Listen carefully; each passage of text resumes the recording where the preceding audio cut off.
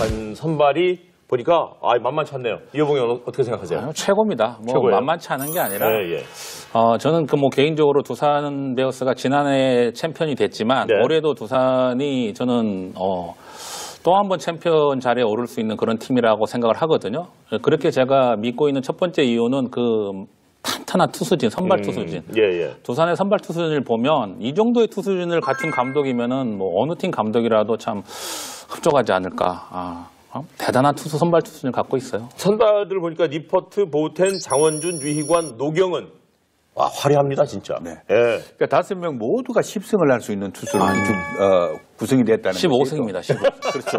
뭐 일단 15승도 다 아니 일단 기본적으로 10승 이상을 할 수 있는 그런 투수들로 5선발까지 채울 수 있다는 게 예, 예. 제일 큰 강점이라고 봐야 되겠죠. 사실 니퍼트가 뭐 지난해 부상으로 좋지 못했지만 정작 조- 중요한 게임 때 잘해줬기 때문에 올해도 역시, 역시 이제 부상만 없다면이라는 전제 조건이 되겠습니다만 잘하겠죠.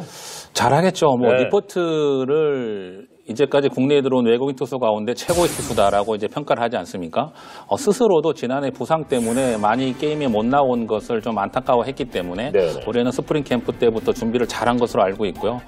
뭐 니퍼트뿐만 아니라 저는 뭐 니퍼트 걱정 그다지 하지 않는데 예, 예. 어, 두산이 항상 니퍼트와 같이 이렇게 호흡을 맞춰줄 또 한 명의 외국인 투수가 그다지 좋- 좋은 편은 아니었는데 음. 이번 시범 게임 보니까 보우덴이 괜찮게 보이더라고요. 김지르 위원이 보시기에 새로운 외국인 투수 보텐 선수는 어떤 기량을 갖고 있는 선수로 저도 굉장히 어떤 큰 임팩트를 가진 투수라기보다는 어떻게 보면 잠실 구장에서도 굉장히 좀 잘 활용 가치가 높고 아. 또 전체 팀 구성상에서도 보우텐 선수가 가진 어떤 그 투수 선발 투수로서 굉장히 매력이 있는 그러니까 이닝 이트로서의 어떤 능력도 굉장히 괜찮아 보이고요. 예, 예. 그러니까 전체적으로 두산이 이제 또 선발이 또 강하다는 것은 뭐냐면 보- 어, 니퍼트 선수가 약간의 부상이고 지난 시즌에는 좀 길었지만 있을 때마다 대체해줄 수 있는 선발 자원들이 풍부하다는 것이 또 음. 두산의 큰 장점이고 예, 예. 일단 보우덴 선수는 제가 봤을 때 두산이 이번에 굉장히 좀 잘 데리고 온 것 같습니다. 네, 음, 말씀해 준 것처럼 이제 오선발 후보인 노경은 선수가 올해 이제 정말 다시 한번 명예 회복을 해야 되잖아요. 그러니까 노경 선수가 기본적으로 가지고 있는 자체가 굉장히 좋은 선수고 네네. 그러니까 제가 12년, 13년, 10승 이상 하고 굉장히 좋았을 때 13년도, 그러니까 14년도도 예. 사실은 14년도에 전 조금 투구수를 줄이면서 이닝 좀 줄이면서 한번 약간의 휴식기를 좀 가- 어, 줬어야 되지 않겠나. 아. 근데 노경원 선수가 워낙 또 그 굉장히 이렇게 너무 열심히 하는 거죠. 공을 너무 많이 던집니다. 음. 그러니까 그런 것들이 결국은 마이너스로 작용을 했고 여러 가지 이제 어, 집안 그 어머니도 좀 안 좋은 일 생기면서 예, 예. 심적으로 많이 흔들려서 그런 거지 기본적으로 선발 투수로서의 노경원 선수의 가치는 저는 굉장히 높이 봅니다. 그리고 음. 노경원 선수의 가장 좋은 점은 좋은 구위도 가졌지만 공 100개를 너무 쉽게 던질 수 있는 투수라는 거죠. 그러니까 사실 선발 투수가 굉장히 큰 장점이거든요. 아, 그렇죠, 그렇죠. 예. 그래서 기본 자기 가진 것만 어, 발휘만 할 수 있다면 원래도 10승은 뭐 무난할 거로 보여집니다. 자, 이제 선발에서 중간 투수를 한번 보면 아, 중간 역시 뭐 만만치 않네요, 진짜. 장원준 투수랑 유희관 투수 얘기는 안 합니까? 제가 보기엔 굳이 얘기할 필요 없을 것 같아요. 그렇죠. 그죠? 뭐 얘기할 거리가 있나요? 없습니다. 전혀 없습니다. 그렇죠. 네. 그래서 넘어간 겁니다. 서운해하지 마셨으면 좋겠고 거기에 이제 지난해 정말 포스트 시즌에서 강렬한 인상을 보여줬었던 마무리 투수 이현승 기존에 우리가 갖고 있었던 마무리 투수에 대한 개념과 관념을 완전히 뒤집어버리는 그런 형태였잖아요. 이현승 투수의 장점은 마운드 위에서 어떤 누구보다도 강한 어떤 그 심리적인 어, 그런 장점을 갖고 있어요. 네네. 멘탈이 정말 좋은 투수인데 두산이 지난 시즌 전반기 끝날 때까지만 하더라도 마무리 투수가 없어서 굉장히 고전을 했는데 후반기에 이현승이 마무리 투수로 자리 잡으면서 확 팀이 확 달라졌거든요. 올해도 그런 두산의 어떤 장점은 이현승 투수가 계속 이어나갈 것이라고 생각을 합니다. 예. 자 그러면 저희가 뭐 시간이 많으면 좀 더 얘기를 했으면 좋겠지만 시간 관계상 녹화 자, 선- 시간 녹화 시간은 많지 않습니다. 두산의 어떤 선발 중간 마무리까지 해서 마운드의 점수를 매겨 본다면 10점 만점에 몇 점 정도 줄 수 있을지 이호봉 의원 어떻게 생각하시는지요?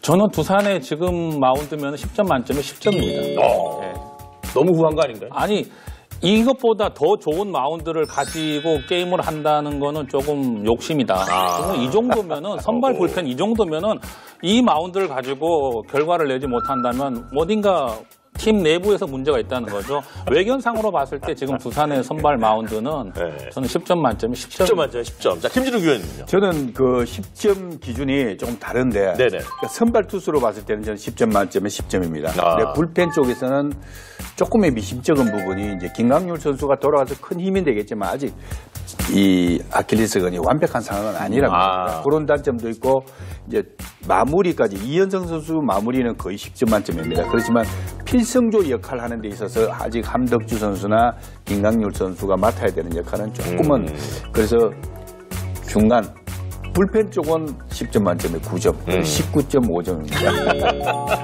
어쨌든 그만 두 분. 네, 네. 두 분의 이야기를 이제 종합해 보면 두산 마운드는 거의 완벽하다. 네. 이렇게 정리를 해볼 수 있겠습니다. 자, 먼저 디펜딩 챔피언 두산 먼저 보면 별 차이가 없네요. 지난해나 해나 올해나. 네, 거의 네. 뭐 그러니까 외국인 타자만 바뀌었다 뿐이지 네네. 거의 비슷하고 이제 김현수 선수의 공백을 이제 항상 걱정을 많이 했었는데 제가 봤을 때는 크게 걱정은 안 해도 될 것 같습니다. 네. 특이하죠. 자, 그러면 김현수가 빠진 그 자리는 이제 어떤 선수들이 채워 나갈까요? 일단 박건우 선수가 가장 유력하지 않을까 예. 싶은데요. 뭐 지난해에도 백업으로 좋은 모습을 보여줬고 뭐 이제는 주전으로 한번 풀타임을 뛸 수 있는 기회를 뭐 올 시즌 한번 얻지 않을까 또 그런 능력이 있다고 생각을 합니다. 예, 예. 그리고 이제 새롭게 합류한 선수가 이제 타자 에반스 선수요. 그렇죠. 예.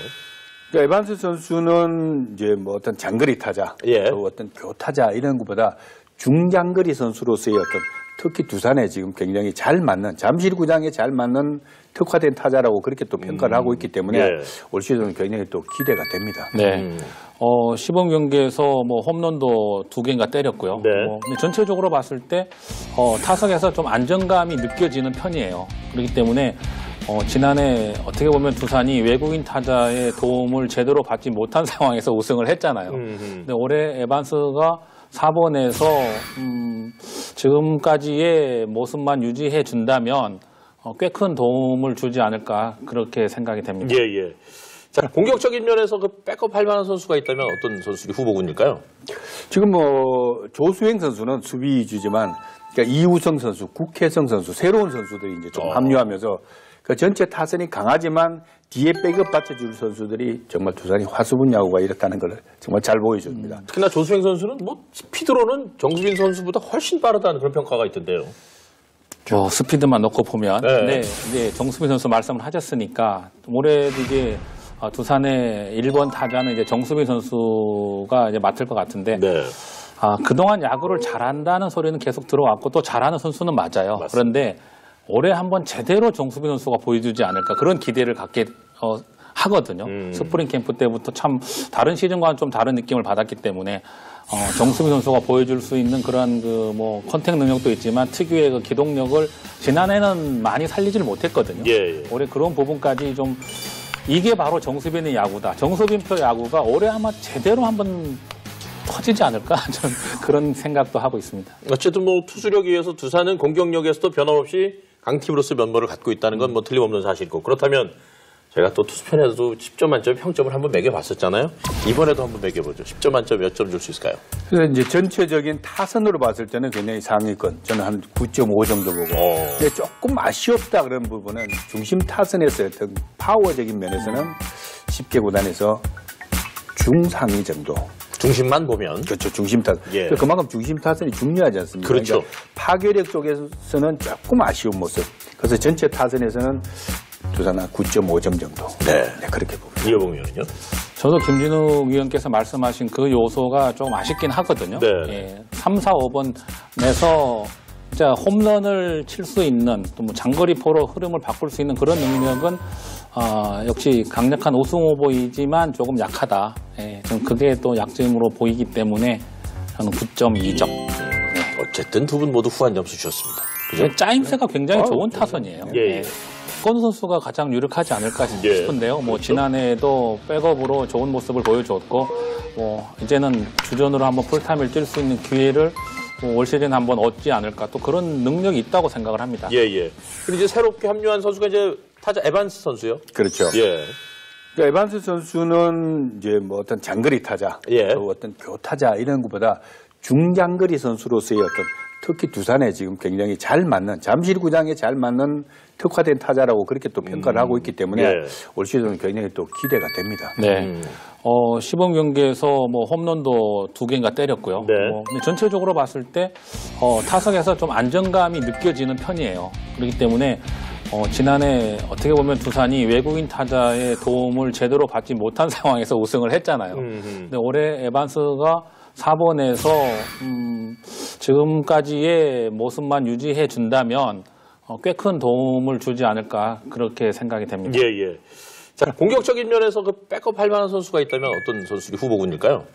지금 뭐 조수행 선수는 수비 위주지만 그러니까 이우성 선수, 국혜성 선수 새로운 선수들이 이제 좀 어. 합류하면서 그 전체 타선이 강하지만 뒤에 백업 받쳐줄 선수들이 정말 두산이 화수분 야구가 이렇다는 걸 정말 잘 보여줍니다. 특히나 조수행 선수는 뭐 스피드로는 정수빈 선수보다 훨씬 빠르다는 그런 평가가 있던데요. 저 스피드만 놓고 보면 네. 저는 두산의 지금 마운드면 10점 만점에 10점입니다. 어, 너무 후한 거 아닌가요? 아니 이것보다 더 좋은 마운드를 가지고 게임을 한다는 거는 조금 욕심이다. 아. 이 정도면은 선발 불펜 이 정도면은 이 마운드를 가지고 결과를 내지 못한다면 어딘가 팀 내부에서 문제가 있다는 거죠. 외견상으로 봤을 때 지금 두산의 선발 마운드는 네. 저는 10점 만점에 10점. 10점 만점에 10점. 자, 김진우 위원님요. 저는 그 10점 기준이 조금 다른데 네네. 그러니까 선발 투수로 봤을 때는 저는 10점 만점에 10점입니다. 아. 근데 불펜 쪽에서는 조금의 미심쩍은 부분이 이제 김강률 선수가 돌아와서 큰 힘이 되겠지만 아직 이 아킬레스건이 완벽한 상황은 아니라고 아. 합니다. 그런 단점도 있고 이제 마무리까지 이현승 선수 마무리는 거의 10점 만점입니다. 그렇지만 필승조 역할을 하는 데 있어서 아직 함덕주 선수나 김강률 선수가 맡아야 되는 역할은 조금은 음. 그래서 중간 불펜 쪽은 10점 만점에 9점, 음. 19.5점입니다. 어쨌든 그만 두 분. 네, 네. 두 분의 이야기를 종합해보면 두산 마운드는 거의 완벽하다. 네. 이렇게 정리를 해볼 수 있겠습니다. 자, 먼저 디펜딩 챔피언 두산 먼저 보면 별 차이가 없네요. 지난해나 해나 올해나. 네, 거의 네. 뭐 그러니까 외국인 타자만 바뀌었다 뿐이지 네네. 거의 비슷하고 이제 김현수 선수의 공백을 이제 항상 걱정을 많이 했었는데 제가 봤을 때는 크게 걱정을 안 해도 될 것 같습니다. 네. 특이하죠. 자, 그러면 김현수가 빠진 그 자리는 이제 어떤 선수들이 채워 나갈까요? 일단 박 두산 선발이 보니까 아 만만치 않네요. 이호봉이 어떻게 생각하세요? 아, 최고입니다. 뭐 최고예요? 만만치 않은 게 아니라 네, 예. 어, 저는 그 뭐 개인적으로 두산 베어스가 지난해 챔피언이 됐지만 네. 올해도 두산이 저는 어, 또 한 번 챔피언 자리에 오를 수 있는 그런 팀이라고 생각을 하거든요. 그렇게 제가 믿고 있는 첫 번째 이유는 그 탄탄한 투수진, 선발 투수진. 예, 예. 두산의 선발 투수진을 보면 이 정도의 투수진을 갖춘 감독이면은 뭐 어느 팀 감독이라도 참 흡족하지 않을까. 아, 어? 대단한 투수 선발 투수진을 갖고 있어요. 선발들 보니까 니퍼트, 보우덴, 장원준, 유희관, 노경은 와 화려합니다 진짜. 네. 예. 그러니까 다섯 명 모두가 10승을 할 수 있는 투수로 주- 어, 구성이 됐다는 15승입니다. 15승. 그렇죠. 뭐 일단 15승도 다 가면 일단 기본적으로 10승 이상을 할 수 있는 그런 투수들로 5선발까지 채울 수 있다는 게 예, 예. 제일 큰 강점이라고 봐야 되겠죠. 사실 니퍼트가 뭐 지난해 부상으로 좋지 못했지만 정작 조- 중요한 게임 때 잘해줬기 때문에 올해도 역시, 역시 이제 부상만 없다면이라는 전제 조건이 되겠습니다만 잘하겠죠. 잘하겠죠. 뭐 네. 니퍼트를 이제까지 국내에 들어온 외국인 투수 가운데 최고의 투수다라고 이제 평가를 하지 않습니까? 어, 스스로도 지난해 부상 때문에 많이 게임에 못 나온 것을 좀 안타까워했기 때문에 네, 네. 올해는 스프링 캠프 때부터 준비를 잘한 것으로 알고 있고요. 뭐 니퍼트뿐만 아니라 저는 뭐 니퍼트 걱정 그다지 하지 않는데 예, 예. 아, 두산이 항상 니퍼트와 같이 이렇게 호흡을 맞춰줄 또 한 명의 외국인 투수가 그다지 좋- 좋은 편은 아니었는데 음. 이번 시범 게임 보니까 보우덴이 괜찮게 보이더라고요. 김진욱 위원이 보시기에 새로운 외국인 투수 모텐 선수는 어떤 기량을 갖고 있는 선수로 저도 굉장히 어떤 큰 임팩트를 가진 투수라기보다는 어떻게 보면 잠실 구장에서도 굉장히 좀 잘 활용 가치가 높고 아. 또 전체 팀 구성상에서도 보우텐 선수가 가진 어떤 그 투수 선발 투수로서 굉장히 매력이 있는 그러니까 이닝 이트로서의 어떤 능력도 굉장히 괜찮아 보이고요. 예, 예. 그러니까 전체적으로 두산이 이제 또 선발이 또 강하다는 것은 뭐냐면 보- 어, 니퍼트 선수가 약간의 부상이고 지난 시즌에는 좀 길었지만 있을 때마다 대체해줄 수 있는 선발 자원들이 풍부하다는 것이 또 음. 두산의 큰 장점이고 예, 예. 일단 보우덴 선수는 제가 봤을 때 두산이 이번에 굉장히 좀 잘 데리고 온 것 같습니다. 네, 음, 말씀해 준 것처럼 이제 오선발 후보인 노경은 선수가 올해 이제 정말 다시 한번 명예 회복을 해야 되잖아요. 그러니까 노경 선수가 기본적으로 가지고 있는 자체가 굉장히 좋은 선수고 네네. 그러니까 제가 12년, 13년, 10승 이상 하고 굉장히 좋았을 때 13년도, 그러니까 14년도도 예. 사실은 14년도에 좀 조금 투수를 줄이면서 이닝 음. 좀 줄이면서 한번 약간의 휴식기를 좀 가- 어, 줬어야 되지 않겠나. 아. 근데 노경은 선수가 워낙 또 그 굉장히 이렇게 너무 열심히 하는 거죠. 공을 너무 많이 던집니다. 음. 그러니까 그런 것들이 결국은 마이너스로 작용을 했고 여러 가지 이제 어, 집안 그 어머니도 좀 안 좋은 일 생기면서 예, 예. 심적으로 많이 흔들려서 그런 거지 기본적으로 선발 투수로서의 노경은 선수의 가치는 저는 굉장히 높이 봅니다. 그리고 음. 노경은 선수의 가장 좋은 점은 좋은 구위도 가졌지만 공 100개를 너무 쉽게 던질 수 있는 투수라는 거죠. 그러니까 사실 선발 투수가 굉장히 큰 장점이거든요. 아, 그렇죠, 그렇죠. 예. 그래서 기본 자기 가진 것만 어, 발휘만 할 수 있다면 원래부터 10성은 뭐 무난할 거로 보여집니다. 자, 그럼 이제 선발에서 중간 투수를 한번 보면 아, 중간 역시 뭐 만만찮네요, 진짜. 장원준 투수랑 유희관 투수 얘기는 안 합니까? 제가 보기엔 굳이 얘기할 필요 없을 것 같아요. 그렇죠. 그죠? 뭐 얘기할 거리가 있나요? 없습니다. 전혀 없습니다. 그렇죠. 네. 그래서 넘어간 겁니다. 서운해 안 하셨으면 좋겠고 거기에 이제 지난해 정말 포스트 시즌에서 강렬한 인상을 보여줬었던 마무리 투수 이현승. 기존에 우리가 갖고 있었던 마무리 투수에 대한 개념과 관념을 완전히 뒤집어버리는 그런 형태였잖아요. 이현승 투수의 장점은 마운드 위에서 어떤 누구보다도 강한 어떤 그 심리적인 어, 그런 장점을 갖고 있어요. 네네. 멘탈이 정말 좋은 투수인데 두산이 지난 시즌 전반기 끝날 때까지만 하더라도 마무리 투수가 없어서 굉장히 고전을 했는데 후반기에 이현승이 마무리 투수로 자리 잡으면서 확 팀이 확 달라졌거든요. 올해도 그런 두산의 어떤 장점은 이현승 투수가 계속 이어 나갈 것이라고 생각을 합니다. 예. 자 그러면 저희가 뭐 시간이 많으면 좀 더 얘기를 했으면 좋겠지만 시간 관계상 녹화 자, 선- 시간 녹화 시간은 많지 않습니다. 두산의 어떤 선발 중간 마무리까지 해서 마운드의 점수를 매겨 본다면 10점 만점에 몇 점 정도 줄 수 있을지 이호봉 의원 어떻게 생각하시는지요?